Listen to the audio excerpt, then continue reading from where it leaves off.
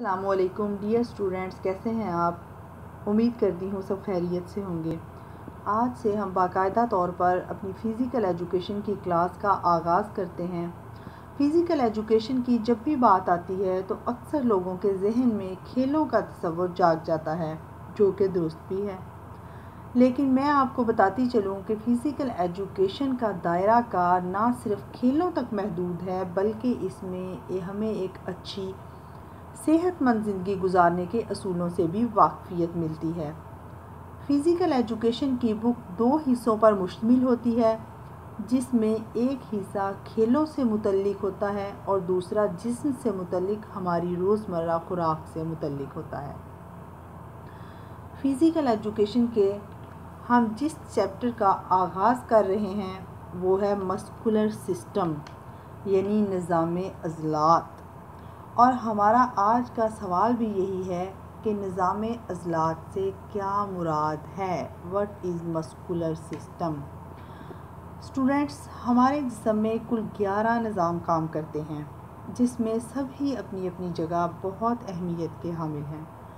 हम पढ़ रहे हैं निज़ाम अजलात। इससे मुराद वो निज़ाम है जिसमें अजलात अपने अपने फ़रज़ की तकमील करते हैं। और इनमें सुकड़ने और फैलने की सलाहियत मौजूद होती है। जिसम की तमाम हरकत इनके सुकड़ने और फैलने के ज़रिए से ही होती हैं। या वो निज़ाम जिसके तहत अजलात जिसम को हरकत के काबिल बनाते हैं। इसमें तमाम तर अजलात या पट्टे शामिल होते हैं। आ, हम यूँ कह सकते हैं कि हमारे जिसम में जिल्द के नीचे जो गोश्त की तहें होती हैं वो अजलात कहलाती हैं। यानी कि हमारी तमाम बॉडी जो है, उसके ऊपर झिल जो है, उसके नीचे गोश्त मौजूद है, उसको हम अजलात कह सकते हैं। अच्छा यहाँ पे मैं बताती चलूँ कि अजलात तमाम एक जैसे नहीं होते, बल्कि इनमें कुछ बड़े भी होते हैं और कुछ छोटे अजलात भी होते हैं। बड़े अजलात कौन कौन से होते हैं, ज़रा सोचें एक लम्हा के लिए। हाँ जी, शाबाश, आपने सही सोचा। बड़े अजलात में हमारी टांगों और बाजुओं के अजलात शामिल हैं और इसी तरह से कुछ अजलात जो हैं वो छोटे होते हैं। अब सोचें छोटे अजलात कौन कौन से हो सकते हैं? हाँ जी, छोटे अजलात जैसा कि आँखों के अजलात और होंठों के अजलात यहाँ पर मैं आपको बताती चलूँ कि अजलात को मुख्तलिफ़ हवालों से मुख्तलिफ़ नाम दिए गए हैं।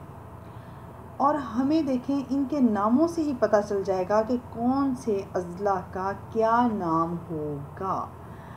अजलात को जो है वो तीन इकसाम में उन्होंने तकसीम कर दिया है। उनके मतलब तीन नाम दे दिए गए हैं, बाइसिप्स मसल्स, दो शाखा अजलात, ट्राइसिप्स मसल्स सर शाखा अजलात फोर सिप्स मसल्स चार शाखा अजलात। अब देखें, दो शाखा अजलात कौन से अजलात हो सकते हैं? नाम से ही पता चल रहा है हमें कि ऐसे अजलात जिसकी दो शाखें होती हैं, वो दो शाखा अजलात कहलाते हैं। और ऐसे अजलात जिनकी तीन शाखें होती हैं, वो सा शाखा या तीन शाखा अजलात कहलाते हैं। और फोर सिक्स मसल्स या चार शाखा अजलात कौन से होते हैं? इसी तरह से ऐसे अजलात जिनकी चार शाखें होती हैं, वो चार शाखा अजलात कहलाते हैं। यहाँ पर हमारा आज का लेक्चर क्लोज़ होता है। नेक्स्ट इन लेक्चर में मैं आपको बताऊँगी कि कौन कौन से अजलात ऐसे हैं जिनकी दो शाखें होती हैं कौन कौन से ऐसे अजलात हैं जिनकी तीन शाखें होती हैं और कौन कौन से ऐसे अजलात हैं जिनकी चार शाखें होती हैं। थैंक यू सो मच अपना बहुत ख्याल रखिएगा, अल्लाह हाफिज़।